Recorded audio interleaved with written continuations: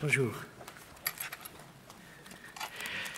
J'ai été chargé donc de parler euh, de, des images, mais de la représentation littéraire de la mer. Et alors tout de suite, je ne veux pas vous brimer ni vous priver d'images, il n'y aura pas de projection, car c'est à l'intérieur de votre esprit, de notre esprit, que vont, je l'espère, surgir des images de la mer. Euh, il faut bien voir que euh, au départ, il y a un écueil euh, un écueil bien représenté par le texte ironique d'un descendant des Vikings, euh, Flaubert, hein, qui était très fier en tant que Normand d'avoir une stature de, Viking, et qui, dans son dictionnaire des idées reçues, écrit Mer n'a pas de fond, image de l'infini, donne de grandes pensées. Alors, il peut être tentant de prendre la profondeur de la mer pour la profondeur de sa pensée, et c'est ce que nous éviterons de faire. Il s'agit, nous l'avons bien compris, d'un terrain mouvant, et par conséquent, il faut que nous ayons quelques repères que j'évoquerai rapidement. Euh, ces euh, repères, on peut les appeler des amers. Hein, vous savez que c'est le titre d'un beau recueil de poésie de Saint John Perse, paru euh, en 1957. Et euh, le terme d'ailleurs d'amer euh, vient d'un terme de norrois, hein, à la fois un vent et une langue, du vieil islandais euh, qu'on appelle aussi norrois et qui est merki, qui a donné amer et qui n'a pas de rapport ni avec mer ni avec l'adjectif amer. Alors ces trois, ces trois éléments, je pense que c'est d'abord la notion d'horizon, Ensuite, celle euh, d'imaginaire à laquelle je voudrais donner une définition très précise. Et enfin, celle de poème de la mer. L'horizon d'abord. C'est un élément décisif dans la poésie. Il y a un très beau livre de Michel Collot euh, intitulé L'horizon fabuleux et qui étudie les horizons. Euh, l'horizon terrestre peut être bien sûr étendu, mais traditionnellement, il est considéré comme limité par des obstacles. Hein. Euh, vous connaissez peut-être le vallon de, euh, de Lamartine. Lamartine parle d'un horizon borné qui suffit à mes voeux. Donc c'est l'horizon qui définit l'espace du bonheur, d'un bonheur familial, d'une intimité. L'horizon maritime, c'est exactement l'inverse, c'est-à-dire que par temps calme et clair, on voit disparaître un navire lorsqu'il est atteint par la courbure euh, du globe. Et euh, c'est si vrai que lorsque l'on parle de vastes horizons de plaine, très souvent, euh, la plaine est comparée à un océan. Je pense notamment à l'océan des blés tel qu'il est évoqué dans les pèlerinages de Chartres de Charles Péguy. Donc cet horizon euh, il fournit une autre conception de la vie. Bonheur d'un côté, pour l'horizon terrestre, bonheur intime, et aventure maritime, fondée sur la solidarité entre les équipages dont on a parlé. Et ceci remonte à la plus haute antiquité, puisque Pindare, 26 siècles avant, nous, euh, écrivait oh, mon âme, n'aspire pas à l'immortalité, mais épuise le champ du possible. Euh, texte qui euh, a été euh, cité par Valérie dans, dans un texte qui a déjà été cité euh, euh, au début en épigraphe du cimetière marin. Ça, c'est donc pour euh, l'horizon. Le deuxième point, peut-être plus important parce qu'il justifie l'absence d'image, c'est le rapport entre imaginaire et représentation. la peinture nous offre des images de la mer. Elle nous les donne d'une certaine façon, même si nous avons ensuite le droit de les réinterpréter. Euh, L'écriture euh, nous demande de construire ces images, de les faire jaillir, pour ainsi dire. Et euh, c'est la notion d'imaginaire dynamique dont je voudrais donner deux exemples littéraires. Le premier est emprunté à Proust, évoquant dans À l'ombre des jeunes filles en fleurs, euh, l'hôtel de, Balbec, Cabourg, et on voit la mer se refléter dans euh, les vitres de la bibliothèque. Je cite un, un très bref passage. Euh, le narrateur dit le plaisir de voir dans la fenêtre et dans toutes les vitrines de la bibliothèque, comme dans les hublots d'une cabine de navire, la mer nue, sans ombrage, et pourtant à l'ombre sur toute une moitié de son étendue que délimitait une ligne mince et mobile. Et nous trouvons là la transposition d'un problème pictural qui a été évoqué à plusieurs reprises, celui du cadre de la peinture. Comment placer le cadre? Est-ce que la figure essentielle, celle d'Icar qui tombe par exemple, doit être au milieu ou sur les côtés? Euh, Il y a là un, vrai problème euh, poétique. Euh, cette image donc sera produite par la lecture. Autre exemple tiré de Baudelaire qu'on a déjà cité est du voyage. Vous savez que le voyage, le dernier poème des Fleurs du Mal, euh, c'est euh, le voyage par mer, hein, ce que les Anglais appellent voyage, hein, le voyage par excellence. C'est pas la journée, journée terrestre, c'est le voyage maritime. Et on lit ceci la glace, à propos des voyageurs, la glace qui les mord, les soleils qui les, les cuivrent, efface lentement la marque des baisers. Alors, nous n'allons pas imaginer une espèce de gommage cosmétique d'esthéticienne. Euh, l'effacement se fait bien évidemment dans le temps. Hein. Donc, c'est une expérience qui passe de l'espace dans le temps, qui est intériorisée. Dernier point pour euh, fixer, dernier amer si vous voulez, c'est le, poème de la mer. Alors l'idée m'est venue d'un vers très connu du bateau ivre, de deux vers très connus, et dès lors je me suis baigné dans le poème de la mer infusée d'astres et lactescents. Alors on reviendra sur l'actescent qui évoque évidemment le lait de la mer nourricière, mais il est infusé d'astres, c'est-à-dire que les, étoiles notamment euh, se reflètent dans la mer. Et la mer est indissociablement sujet et objet, écriture et spectacle, et euh, le, le véritable marin, le véritable navigateur se plonge dans la mer, d'où d'ailleurs la fascination du sous-marin, Nautilus par exemple, sur laquelle on reviendra tout à l'heure. Euh, la mer incite à une nage qui est un exercice spirituel. Je cite encore Baudelaire, L'homme la mer, tu te plais à plonger au sein de ton image. Vous voyez qu'on est non pas spectateur extérieur de l'image, mais à l'intérieur de l'image. Et euh, c'est un euh, corps à corps, c'est le corps à corps même que refusait Narcisse. Hein. C'est une lutte amoureuse. Narcisse, regardant sa figure dans l'eau douce, bien entendu, de la fontaine, ne peut pas embrasser son image, alors que le nageur, peut se pâmer dans l'onde et par conséquent à l'imagination mortifère de Narcisse s'oppose l'imaginaire dynamique euh, du navigateur ou du marin. Hein. il y a là quelque chose d'essentiel. La mer est toujours associée en couple à autre chose. Elle est associée au ciel, nous l'avons vu, aux astres du ciel. Elle est, ça a été dit très abondamment, associée au vent, et j'ai bien aimé le développement sur les embruns et l'écume à ce propos. Alors, il faut quand même, après ce préalable, passer à, des points de vue un petit peu différents. Euh, le premier, ce sera le rapport entre mer et métamorphose. Euh, le second, le rapport entre navigation et culture technicienne. Et enfin, nous évoquerons ce qui a été déjà dit d'une autre façon sous la forme d'oxymore. Je parlerai de, des antinomies euh, dont euh, la mer est le siège. Alors d'abord, mer et métamorphose. Alors je le dirai tout de suite, je ne vais pas faire de présentation picturale, ça a été très bien fait. Il y a des représentations de la mer, comme on en trouve par exemple dans les aventures de Témémaque de Fénelon, avec euh, euh, les tritons, les néréides, escortant le char d'amphitrite.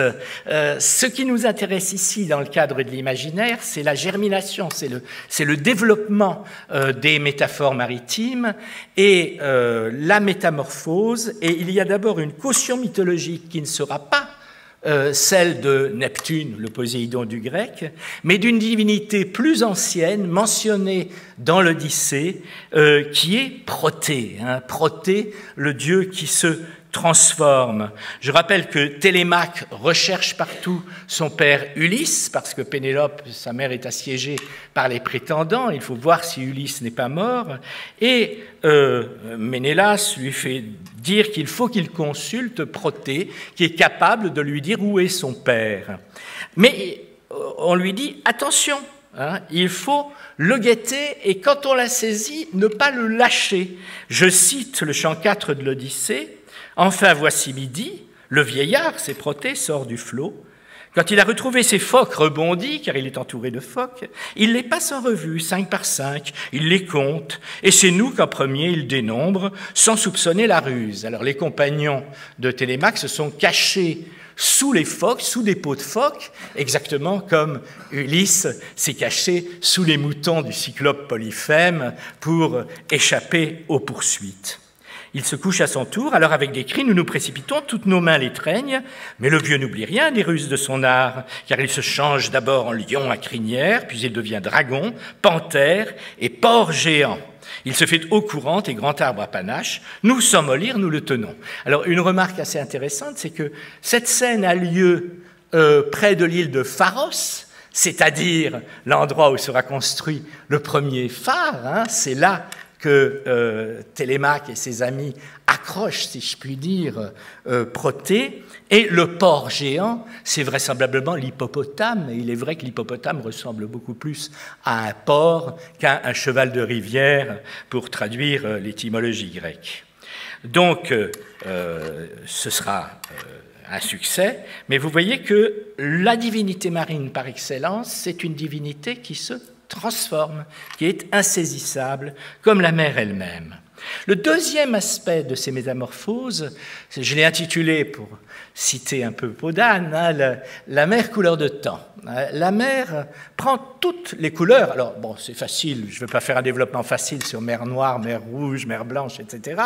Mais il faut noter que chez les anciens Grecs, euh, on a peu de, couleurs banales, hein, la, mer bleue, la mer verte.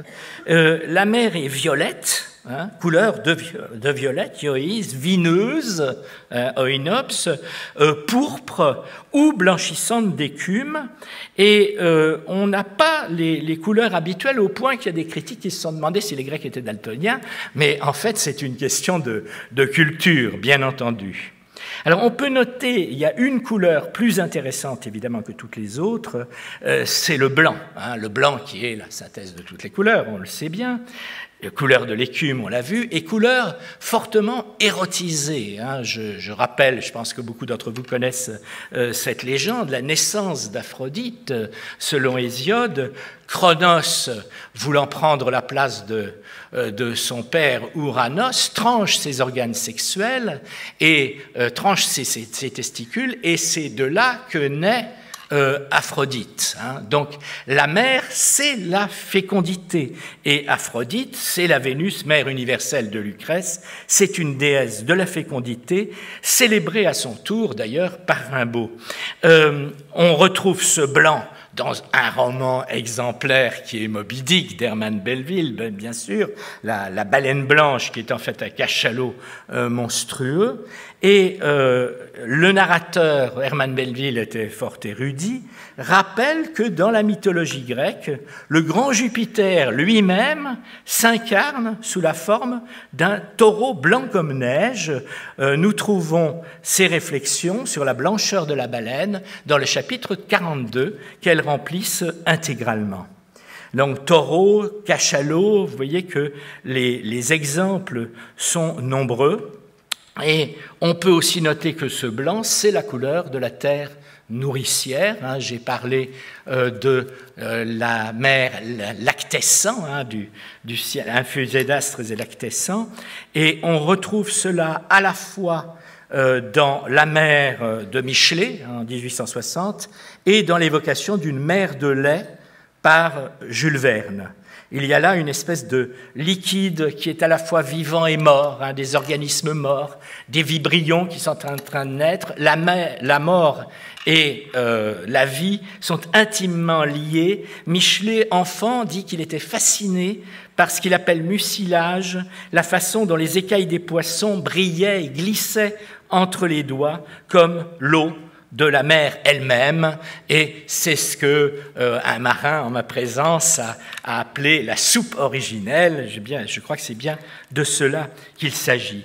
On peut noter aussi que ce temps, j'ai parlé, c'est aussi un temps chronologique, pas seulement météorologique. Et là, je suis amené à me référer à un texte que tout le monde connaît, le bateau ivre, en attirant votre attention sur le passage de, du sucré euh, à la mer. Hein. L'eau salée est plus douce qu'aux enfants la chair des pommes sûres, c'est le sucré, bien entendu. Elle porte confiture exquise aux bons poètes, des lichens de soleil et des morveux d'azur, c'est les petits morveux, qui aiment les confitures. Et puis, le régime change. Euh, Rimbaud évoque les bleuités, ou teignant tout à coup les bleuités, délire et rythme lent sur les rutilements du jour, plus fortes que l'alcool, plus vastes que nos lyres, fermentent les rousseurs amères de l'amour. Et alors on passe peu à peu de la confiture à la bière, hein, et euh, du goût des friandises chez les enfants à une sexualité euh, adulte. Ce qui nous amène, troisième point de, ce développement, au rapport entre mort, amère et amour. Et je voudrais, si le temps me le permet, euh, vous euh, citer très rapidement euh, un très beau texte de Pierre de Marbeuf, un hein, poète du XVIIe siècle, dans un recueil de vers de 1628. Et la mère et l'amour ont la mère pour partage. Et la mort est ta mère et l'amour est ta mère. L'on s'abîme en l'amour aussi bien qu'en la mer, car la mer et l'amour ne sont point en orage. Celui qui craint les eaux, qu'il demeure au rivage. Celui qui craint les maux qu'on souffre pour aimer, qu'il ne se laisse pas à l'amour enflammé, et tous deux, ils seront sans hasard de naufrage. Alors je ne cite que les deux quatrains parce que le reste est plus recherché, enfin c'est la recherche d'esprit euh, de la préciosité, mais on peut tout de même noter ici cette idée qu'il faut prendre des risques, que si on veut faire de sa vie quelque chose, il ne faut pas rester sur place, il faut s'embarquer, s'embarquer dans l'amour, s'embarquer sur la mer, mais il n'y a pas de vie digne de ce nom sans prise de risque. Euh, cette, euh, cette idée, on la retrouve bien plus tard euh, dans le texte que j'ai déjà mentionné de Saint John Perse, un passage de euh, intitulé Étroits sont les vaisseaux, en référence à l'Iliade évidemment. Amis, notre race est forte, amis eux, hein, notre race est forte, et la mer entre nous ne trouve point frontière. Nous irons sur la mer aux très fortes senteurs, le bol de cuivre entre les dents.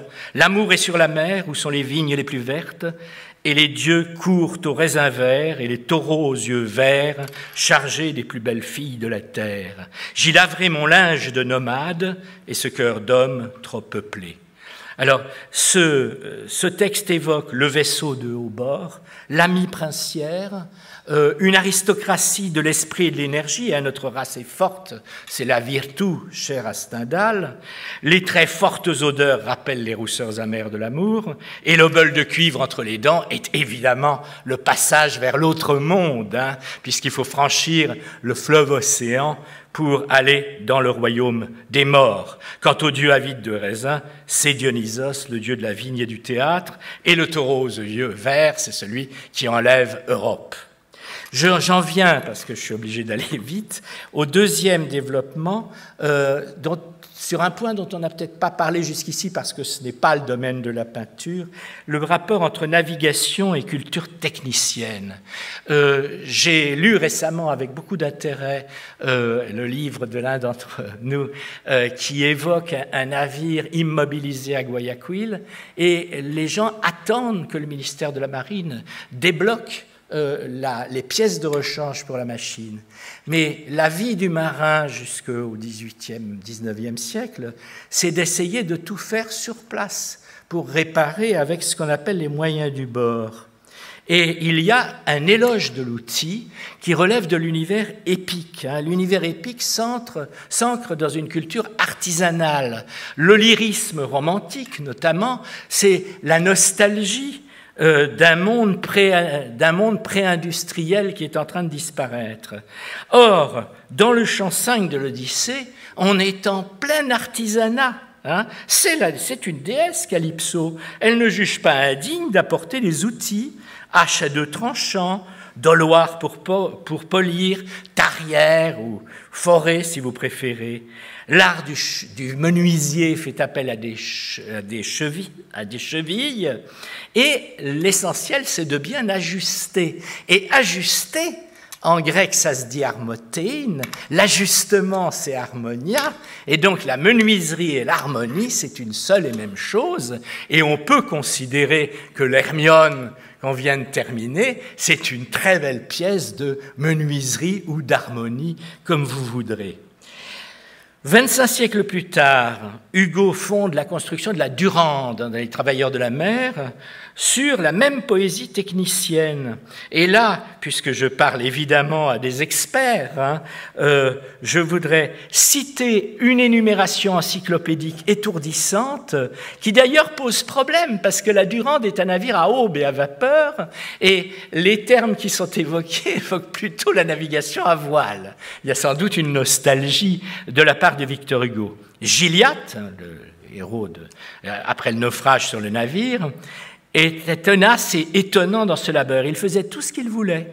Rien ne résiste à un acharnement de fourmis. À la fin de la semaine, Gilliatt avait dans son hangar de granit tout l'informe bric-à-brac de la tempête mis en ordre. Il y avait le coin des écoués, celui le coin des écoutes. Les boulines n'étaient point mêlées avec les drisses. Les bigots étaient rangés selon la quantité de trous qu'ils avaient. Les emboudinures, soigneusement détachées des oraganos, des encres brisées, étaient roulées en écheveau. Les moques qui n'ont point de rouet, étaient séparés des moufles. Les cabillots, les margouillés, les pataras, les gabarons, les joutreaux, les calbas, les galoches, les pantoirs, les oreilles d'âne, les racages, les bosses, je, je coupe l'énumération là, tout le naufrage était là, classé et étiqueté. C'était quelque chose comme le chaos en magasin.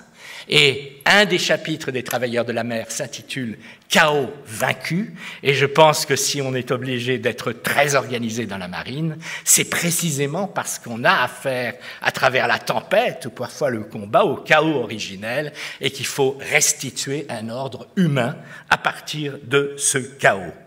Le deuxième point, euh, je serai bref là-dessus, c'est la supériorité, selon euh, Victor Hugo en tout cas, de l'Odyssée sur l'Iliade, de la navigation sur la guerre. Euh, dans un article intitulé La mer et le vent, il explique que la mer et le vent sont de gigantesques machines et qu'il faut savoir dominer les énergies naturelles. Et je vous cite un très beau passage euh, des travailleurs de la mer, enfin plus exactement d'une addition qui n'a pas été incluse dans les travailleurs de la mer. Navigation, c'est éducation. La mer, c'est la forte école. La cohabitation avec ces phénomènes peu maniables produit une race d'hommes qu'il faut aimer, les marins. Il n'y a pas d'autres conquérants qu'eux. Le voyageur Ulysse fit plus de besogne que le batailleur Achille. La mer trempe l'homme, le soldat n'est que de fer, le marin est d'acier. Ajoutons ceci, la navigation est le contraire de la guerre, avec des néologismes que je contesterai un peu, la navigation civilise le sauvagisme, la guerre sauvagise la civilisation. Alors le troisième point euh, à propos de cette culture technicienne, c'est ce que j'appellerais un idéal d'autarcie. Alors, j'en ai déjà un petit peu parlé, mais je voudrais donner un exemple tiré de Moby Dick et de la fin de Moby Dick. Il y a, là encore, c'est la charpente, la menuiserie qui prime, il y a à bord du Pécode un charpentier singulièrement habile, je cite, dans les mille combinaisons mécaniques dont on a continuellement besoin à bord d'un grand navire en cours, au cours d'un voyage de trois ou quatre ans. Et alors, le Charpentier, c'est le type même de l'homo faber. Hein. Son cerveau avait dû ruisseler jusqu'au bout de ses doigts. Et il commence, ce qui est sa fonction, par redonner forme à une rame mal façonnée, par exemple. Mais euh, il peut faire bien d'autres choses. Une cheville d'amarrage était-elle trop grosse pour s'insérer facilement dans son trou? Le charpentier la plantait dans des étaux toujours prêts et, et immédiatement la menuisait. Un oiseau à l'étrange plumage venant des terres perdues s'abattait-il à bord et le capturait-on? Avec des baguettes bien polies d'os de vraies baleines et une charpente d'ivoire de cachalot, le charpentier faisait pour lui une cage en forme de Donc, c'est le premier métier, et il sera aussi à l'occasion dentiste, hein, quand il a arraché les dents de quelqu'un, euh, d'un marin, il serre sa tête dans un époteau en bois, et ensuite il peut tirer tranquillement. Alors, j'en viens au dernier point, euh, la mer comme lieu de toutes les antinomies que, terme un petit peu différent d'oxymore, mais qu'il recouvre quand même. Je commencerai en hommage à mon collègue angliciste par citer The Rime of the Ancient Mariner de Coleridge, avec cette formule très célèbre Water, water everywhere and not a drop to drink. Hein, bon, je pense que vous avez tous compris. Euh, on peut penser aussi à la figure du marin Hein, le marin que nous imaginons, c'est une forte personnalité, une individualité forte, voire euh, un véritable tyran comme le capitaine Akab euh, dans Moby Dick. Mais c'est aussi le personnage qui tend à s'effacer, à fondre son individualité dans la mer. Je vous rappelle que lorsque le cyclope demande à Ulysse quel est son nom, il répond Outis, personne. Alors c'est évidemment une ruse pour lui échapper, parce que quand le cyclope se plaint, on dit bah, ce qui vous a fait du mal, bah, c'est personne. Mais euh, c'est aussi une définition, songeant aussi au fameux capitaine Nemo dans 20 000 lieues sous les mers. Mais j'en viens à des oppositions plus importantes. D'abord, évidemment, mort et vie. J'en ai déjà parlé à propos du, du mucilage de la soupe, originelle. Euh, nous avons vu que le fleuve océan borde le séjour des morts, mais d'une manière générale, il y a une espèce de tropisme vers la mer, notamment pour les gens qui, comme moi, atteignent l'âge de la retraite, et qui s'agglutinent au bord des côtes. Hein. Vous savez que c'est le rêve de beaucoup de retraités d'aller au bord de la Grande Bleue ou au bord de l'océan. Or, cette idée-là, on la trouve exprimée d'une façon beaucoup plus fine chez Baudelaire, dans Maesta et Terabunda, hein, triste et vagabonde. La mer, la vaste mer console nos labeurs. Quel démon a doté la mer, rauque chanteuse, qu'accompagne l'immense orgue des vents grondeurs de cette fonction sublime de berceuse La mer, la vaste mer, console nos labeurs. Alors, ce n'est pas une, euh, une, étourderie de ma part, hein. la, strophe est encadrée par la mer, la vaste mer, console nos labeurs, comme par un bercement. Le mot de berceuse apparaît, et donc elle est à la fois redoutable, elle peut causer notre mort et elle nous ramène à notre petite enfance. Euh, dans l'essai La mer que j'ai déjà cité, Michelet montre des bancs de poissons en rut se reproduisant au moment même où ils sont pêchés en masse. Hein. mort et vie euh, se rejoignent. Et alors cette combinaison de la mort et de la vie, on la trouve dans ce qui a été évoqué à juste titre plusieurs fois à propos de Claude Gelé, dit le Lorrain. La gloire, c'est cette espèce de pulvérulence lumineuse, de nimbe autour des vaisseaux stationnés dans un mouillant dans un port euh, architectural. Euh, c'est aussi un terme religieux. Hein. on parle de la gloire de Dieu. Donc c'est ce qu'il y a de plus haut dans la spiritualité. Et euh, Baudelaire évoque toujours dans le voyage la gloire du soleil sur la mer violette, la gloire des cités dans le soleil couchant. Or, de l'autre côté, on trouve un spectacle terrifiant, on en a vu quelques exemples dans la peinture, c'est le navire en feu. Hein. Alors, euh, c'est, je crois, d'après ce qu'on m'a dit, ce que les marins redoutent le plus, hein, le feu à bord. Et évidemment, ce peut être une belle image poétique, comme dans Occident de Lamartine, le soleil plongeait la moitié de sa sanglante image, nous avons vu un demi-soleil tout à l'heure, comme un navire en feu qui sombre à l'horizon. Mais ce peut être aussi une vision d'horreur réelle, et je pense en particulier à un combat euh, le 21 octobre 1707 contre une escadre anglaise, euh, le navire anglais prend feu, hein, il y a Duguay-Trouin et, Jean Bart du côté français euh, qui portent tous deux témoignages, et chacun a en tête l'image de l'explosion imminente. Hein, ce navire d'où se jettent les marins anglais, il va exploser d'une minute à l'autre. Et qu'est-ce qu'on fait? On est au spectacle avec quand même de la pitié pour ces hommes qu'on n'ose pas secourir. Donc vous voyez, la gloire, c'était le paradis, et là, nous sommes évidemment en enfer. Hein. Je cite Forbin, tous ces pauvres malheureux périrent sans que personne leur donnât du secours. Deuxième, euh, deuxième antinomie, c'est tempête et calme. Depuis l'Antiquité, la mer est à la fois masse de calme et visible réserve. Euh, c'est aussi euh, le thème euh, de la tempête comme rappel du tohu-bohu originel. Hein. La tempête, c'est un retour au chaos. Et là, nous avons un exemple sur lequel j'aimerais m'arrêter une minute. Euh, c'est euh, la façon dont la nuit tombe sur l'océan. dans l'Antiquité, dans le récit de la tempête dans l'Énéide, c'est Ponto nox incubatatra, une nuit noire fond, euh, se couche littéralement euh, sur la mer. Et euh, on trouve l'inverse dans le fameux Océanonox de Victor Hugo. Hein. la nuit, surgit de l'océan. Hein. Donc vous avez d'un côté une transcendance écrasante et de l'autre, au contraire, une immanence, hein, le, surgissement de la nuit de, des profondeurs de la mer elle-même. Et euh, Shakespeare, qui est quand même quelqu'un d'assez extraordinaire de ce point de vue-là, arrive à faire la synthèse des deux dans la tempête. Miranda la, fille du duc, parle. Il semble alors que le ciel serait prêt à verser de la poix enflammée, donc ça c'est la mort qui vient d'en haut, si la mer, s'élançant à la face du firmament, n'allait en éteindre les feux. Donc chacun fait la moitié, hein. il y a une espèce de combat entre la mort et la vie, et comme beaucoup d'entre nous sont anglicistes, je cite, The sky, it seems, would pour down stinking pitch, but that the sea mounting to the welkin's cheek dashes the fire out. Une remarque, the welkin's cheek, littéralement la joue du firmament, c'est un très vieux mot pour désigner euh, le ciel, hein, un mot qu'on ne trouve plus guère que dans les lexiques spécialisés.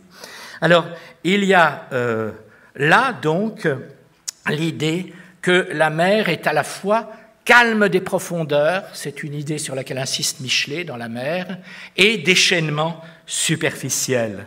Et vous savez qu'en profondeur, songez au monde du silence hein, de, Cousteau, euh, c'est le calme qui est censé euh, régner. Je termine par une dernière antinomie, la multitude et des chemins et l'absence de chemin. Hein.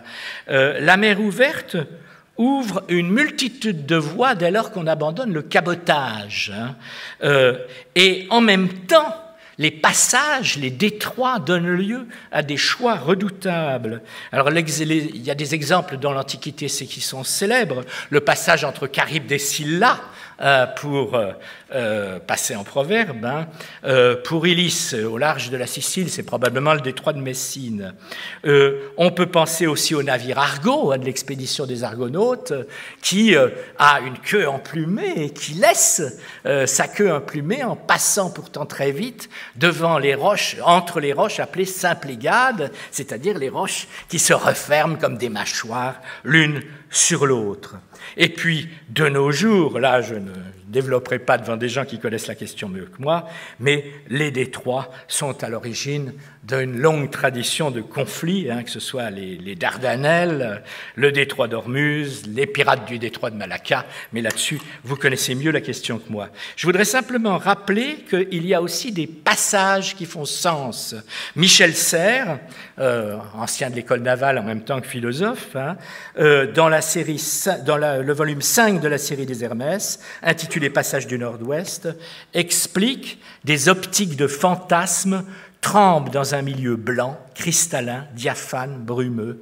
La terre, l'air et l'eau se confondent, solides et liquides. C'est-à-dire que un chemin est en train de se dessiner, un peu comme les chemins d'eau douce que vous évoquiez euh, en, Hollande, enfin euh, dans les Pays-Bas. Et euh, ce passage du nord-est, vous savez que des expéditions comme, Tara ont essayé de, le découvrir. Il y a un passage du nord-ouest hein, et un passage du nord-est qui se dessine en ce moment au nord de la Russie. Alors en conclusion, je dirais que l'imaginaire de la mer repose évidemment sur une fascination dont les monstres des mers, hein, la pieuvre de Gilliatt, ou le monstre séduisant et dangereux qui est la sirène, ou le cachalot de Moby Dick sont les emblèmes. Et euh, cette ambivalence a été encore très nettement soulignée par euh, Baudelaire dans L'homme et la mer, mais pas le début, euh, pardon, dans un texte qui est symétrique de L'homme et la mer, hein, puisque L'homme et la mer, c'est l'amour et la lutte entre l'homme et la mer, Obsession. Je te hais, océan. Tes bons et tes tumultes, mon esprit les retrouve en, nous, en lui. Pardon. Ce rire amer de l'homme vaincu, plein de sanglots et d'insultes, je l'entends dans le rire énorme de la mer. Hein, une vision satanique. Hein, là, c'est Lucifer hein, qui euh, se sent écrasé euh, par l'univers. L'autre aspect de l'océan, c'est l'absence de mesure. Et donc, la recherche de quelque chose de rassurant. À la fin du bateau ivre, il y a l'évocation d'un enfant accroupi, plein de tristesse, lâche, un bateau frêle comme un papillon de mai. Hein. Donc, euh, il a affronté les tornades, les tempêtes, et il songe à la flash, à la, flaque d'eau euh, euh, qui contient un petit bateau en papier. Et ces bateaux enfantins donc voisinent avec la tempête et la nostalgie en somme d'un retour à l'enfance. Et je terminerai non pas sur une affirmation, je citerai encore, euh, encore Flaubert, la bêtise consiste à vouloir conclure, donc je ne conclurai pas euh, je vous cite quand même un très beau texte de Verlaine, qui était très peu marin, hein, il a passé le Pas-de-Calais, c'est tout, euh, et qui évoque cette euh, mer comme nourrice d'inquiétude. Je ne sais pourquoi, mon esprit est amer, d'une aile inquiète et folle vole sur la mer. Tout ce qui m'est cher, d'une aile d'effroi, mon esprit le couvre au roi des flots. Pourquoi Pourquoi? Mouette à l'essor mélancolique, elle suit la vague et ma pensée. À tous les vents du ciel balancés et biaisant quand la marée oblique, mouette à l'essor mélancolique. Et ensuite, on reprend capo, hein, je ne sais pourquoi, mon esprit ta mère, etc. Donc, je euh, propose que nous nous arrêtions sur ce pourquoi.